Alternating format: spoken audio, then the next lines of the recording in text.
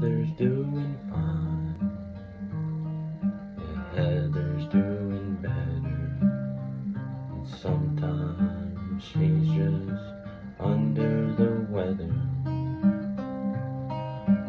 I don't know whether or not I can help her get her shit together.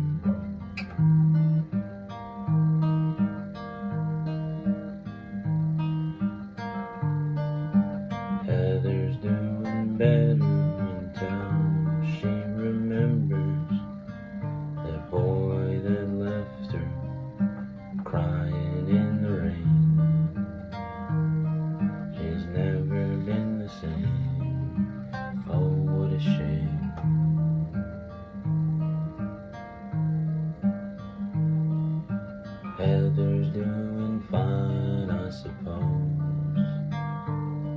She's going to fancy places and wearing fancy clothes. I wonder how she feels.